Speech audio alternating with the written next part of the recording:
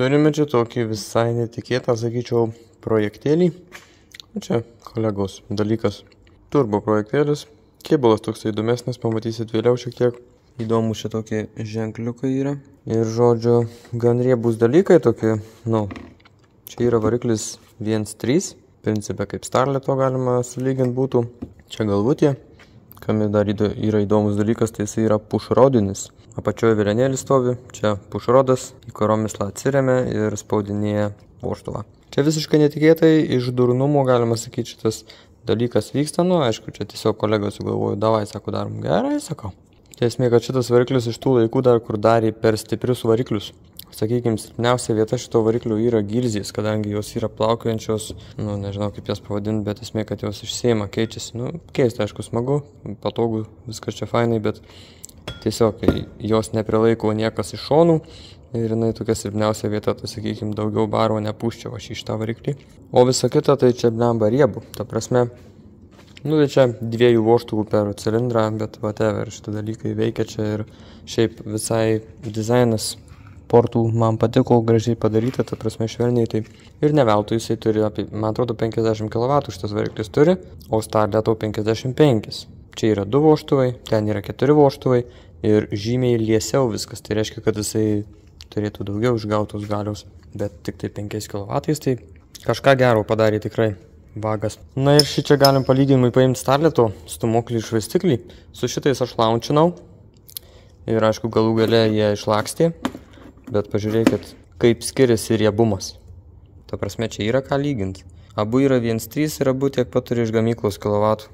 Indiklų plotis. Tiksliau gal reiktų imti šitaip pat. Indiklų plotį žiūrėti. Čia reiškia va dar tiek kiek šonų. Čia pridedam indiklas platesnis už patį kaklą. Tai ne veltui mums starleto tie indiklai ir eina šaibom, nes jie yra mažuliukai, o kaip matom, kokio pločio jie yra originaliai. O čia gigantas, ta prasme, ant tokio indiklo, tiesiog čia aš jį tikėčiausi rasti džiaizekę kokiam, nežinau. Nu, žodžiu, esmė, kad riebus reikalas čia jo neįmanoma sunaikinti su dviem barais turbūt. Švaistiklio riebumas belekoks palyginus, kaip stoko, nu, kaip tokio litražo. Indiklas baisinis irgi, niekad gyvenime neužvels. Stumokliai irgi motininiai, čia, nu, normaliai mėsos nuo viršaus. Žiedai, viskas čia tvarkoji, paprasta žodžiu. Tai principė apačia tikrai laikys.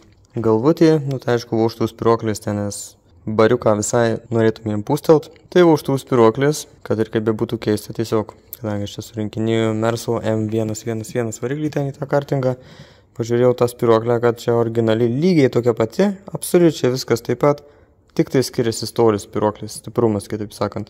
Ok, taip, žodžiu, tiesiog nupirkom tas spiruoklis iš Merso, sumetėm upgrade'as lygio vietoj, Valve Flow to nebus. Čia bariukas yra užsimerkus šitą variklį, aš jau matau. Įdomu, kaip jisai reaguos. Dar beje, čia yra pilnas įpurškimas šitam varikliui, tai irgi viskas ok. Nuo map sensoriaus originaliai matosi ten visus slėgius, tai tik tai aišku, map sensorių reiks upgradinti, purkštukus reiks upgradinti, kompas programuojamas irgi įsimes, kažkas įdomesnio visai bus. Aišku, čia 1.3 grabas vėl, bet čia ne mano grabas, taip kad nepisam proto čia, nes, žodžiu, jo, man tai užtenka jau mažą litražų, bet, nu, žodžiu, spuogas su turbo yra kažkas įdomesnio plus čia dėsis e, mažesnė turbina, nu, ta prasme, kaip aš ant stalio tu buvau dėjęs 1.8 turbo, tai taip sakant, kad tą optimalų variantą, kur greit užpučia ir važiuoja ir, žodžiu, viską išnaudot pilnai tvarkingai, turėtų labai fainas būtų toksai deiliukas. Blemba, kokį stalio švestikliai ir stumokliai mielučiai palyginus ektuso. Ta prasme, čia, čia net per kamerą nesimatom, kiek jie skiriasi, bet belekas. Turime čia škodos paprastutę pravą. Ir, žodžiu, reikia adaptuoti spidujinui. Tai čia, principė, beveik viskas eina balto, nieko nereikia perdaryti. Persinaudoja visi komponentai. Uždegimo rytė vaistėt sparko bus. Originali, smart. Tai, žodžiu, viskas čia ok. Temperatūros daviklis vietoje, viskas. Purkštukai droselis. Droselis čia buvo su elektriniu laisvos jėgos valdymu, tai jisai užknisa, bet nu, padarysim irgi ten reikia viškai pažaisti. Čia turim map sensorių ir temperatūrą, tai greičiausiai naudosim kažką tai aftermarketo, nes Aišku, kad jisai nematys slėgio, nes atmosferikas buvęs.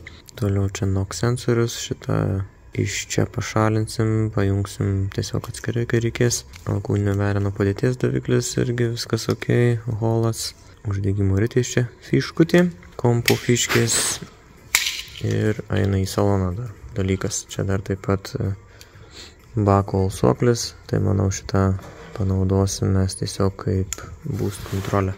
Na ir čia porą masių. Žodžiu, viskas labai paprasta, turėtų būti pakankamai sklandžiai. Reiks tik tai prasilginti laidus, nes čia variklio skiliui dabar sėdi kompas, tas irgi biški užknisa. Tai žodžiu, nusitemti viską į saloną.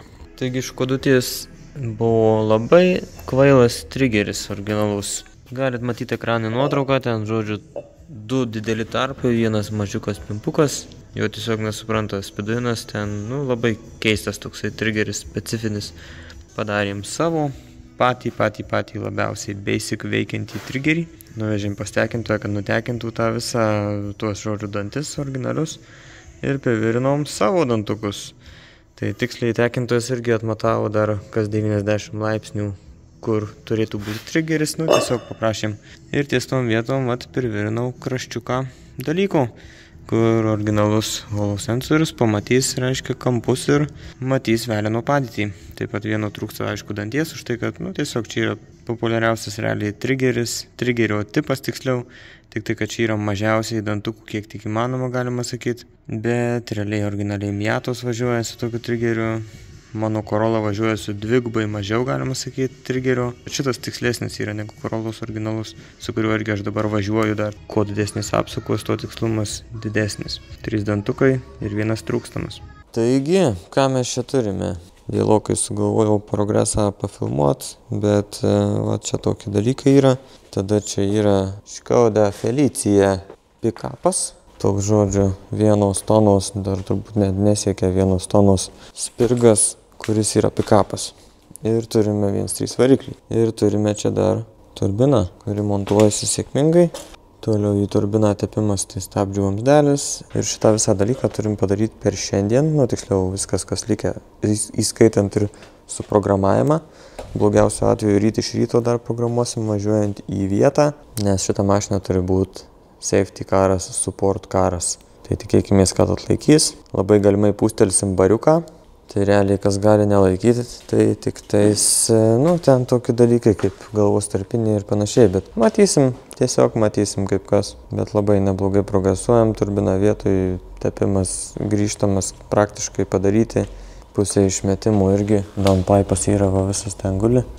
Na kągi, pirmas startas su turbina vietoje, tepimai jau grįžtami pajungti, išmetimas pusgatavės, bet dar neuždėtas.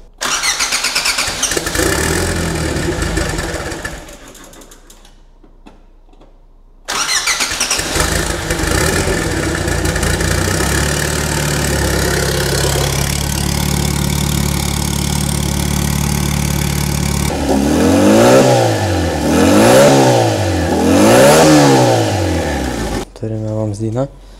Turbo viskas pajungta, išmetimo downpipas užmestas, dar liko išmetimą padaryti.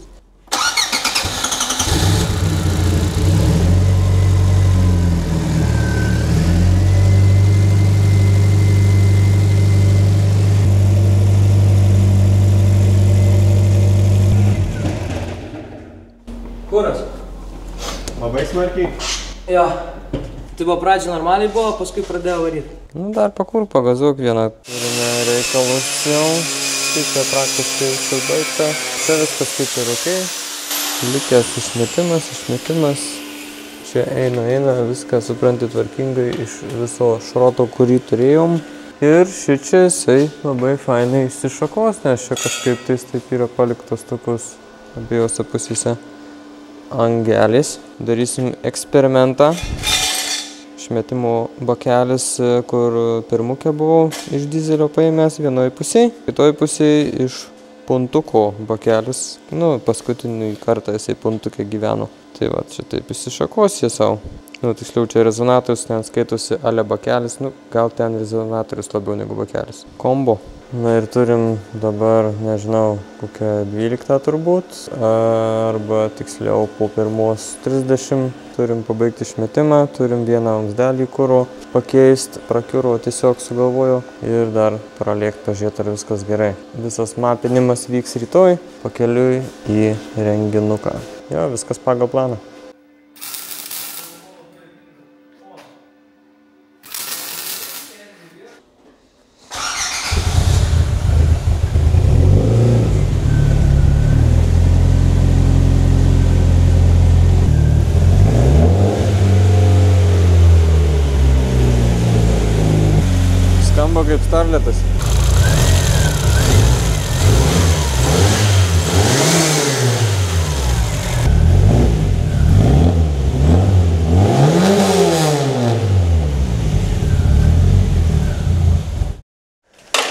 Važiavom su Škoda, mapinom viską, 03 bariukų, net pilno gazo nebuvom nuspaudę, viskas buvo ok.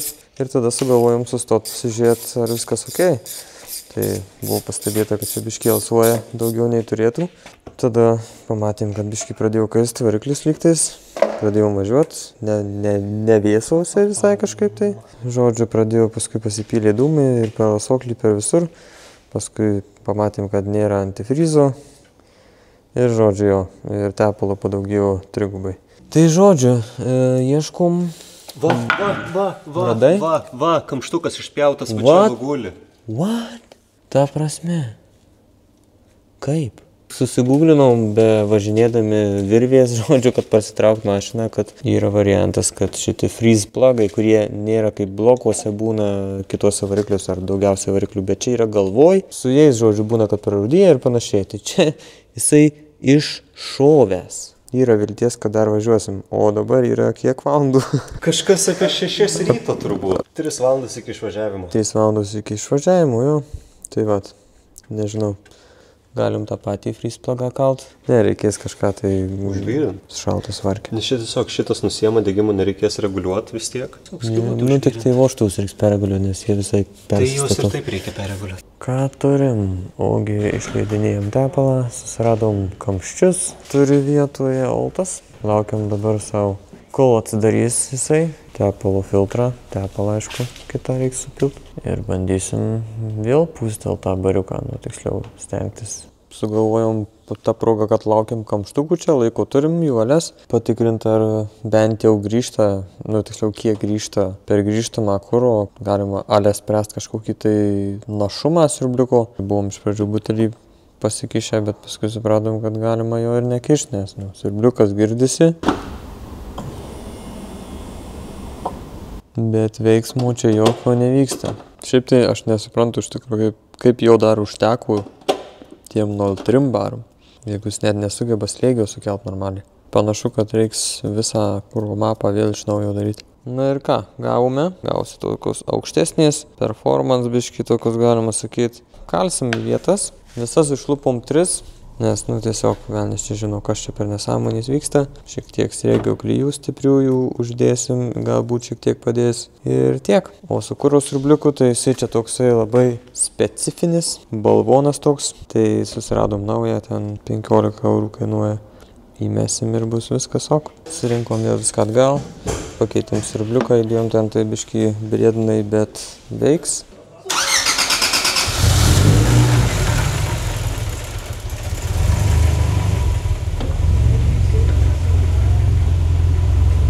Kol kas važiuojam, viskas tvarkoj, bet kol kas ir nespaudėm dar 03 tų bariuko. Manau, kad viskas bus gerai. Tai sumapinom, viskas puikiai pavyko. Pučia apie 0,8 baro vidutiniškai. Čia vienu momentu 0,9 buvo užpūtę, bet, nu, principė, nėra prasmės dabar daugiau pūst, nes nesvairina. Žodžiu, užsiburbuliuoja. Tai reikia žiūrėti, gal žvakių tarpelius sumažinti. Ir jo, kažką galima bus dar pabandyti, bet, bet ir šiaip jaučiasi pagal kūro lentelę, tiksliau matosi, kad čia va didžiausi skaičiai, tai visi newtonai, visas lupimas ir laimingas variklis yra iki 5000 realiai, o toliau tai viskas va skaičiukai krenta, mažėja, reikia liesint, nes tiesiog variklis nesuvalgo oro jam pateikto. Ir jo, vienintelis nesklandumas, sakykime, toksai nedidelis, tai kad nėra trečio bėgio. O žiūrėk, ai, nu va, taip patingstis kartais. Tiesiog ten biškai būstą sukėlėm iki 0,8 vienu momentu ir tada jį išmetė. Na ir žodžiu, nuo to laiko išmetinėje tiesiog. Tai jeigu turit šitokio gaidžio greičių dėžę, galit kreiptis, galbūt priklausom.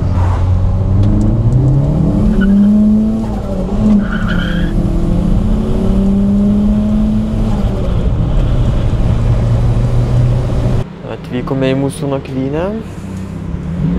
Turime bolidų susirinkimą visokių čia. Turime škodytę, kuri puikiai atlaikė. Lukas vlogina mamas, Lukai.